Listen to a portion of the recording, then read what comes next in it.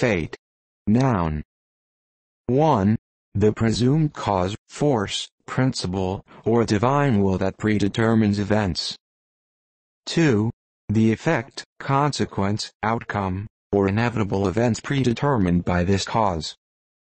3. Destiny, often with a connotation of death, ruin, misfortune, etc. For example, accept your fate. 4. Mythology, alternative letter case form of fate, one of the goddesses said to control the destiny of human beings. Fate. Verb. 1. Transitive, to foreordain or predetermine, to make inevitable. For example, the oracle's prediction fated Oedipus to kill his father, not all his striving could change what would occur.